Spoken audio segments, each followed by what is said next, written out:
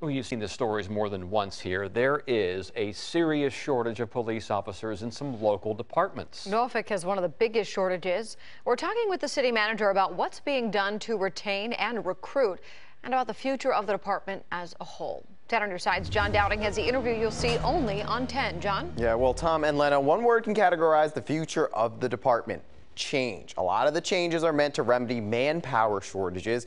There's also a hope that they'll strengthen what Filer describes as a progressive police department. This is going to be a progressive policing department. We are not going backward in this department.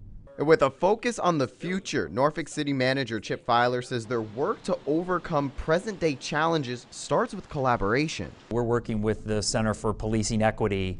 Uh, CPE is helping us think about actual metrics and measures for community policing. And then also, how do you incorporate that into merit based pay raises and, and uh, promotion? Pay and the work environment are two challenges city leaders have had to address to improve retention within their ranks. The council has spent the last two years aggressively trying to address pay differentials between Norfolk, uh, the Norfolk Police Department and other departments. To address low recruitment, Filer says they started a large scale nationwide marketing campaign.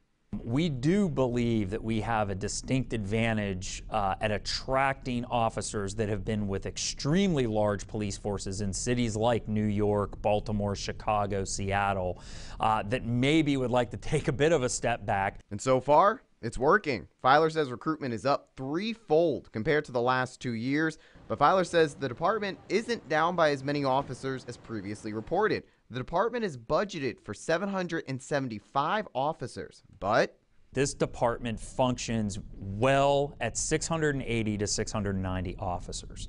So in this period of time right now where we are about 120 officers away from that number, as previously reported, officers will take on a hybrid approach as they restructure the department. Most of the restructuring in order to enhance patrolling is taking folks off of dedicated task force and specialized unit activity. The biggest position they need to fill? The chief of police. Filer says they just started the search. They want a large and diverse pool of internal and external candidates. I can assure all the men and women in the Norfolk Police Department that the next chief is only going to move this department forward. We are not going to go backward.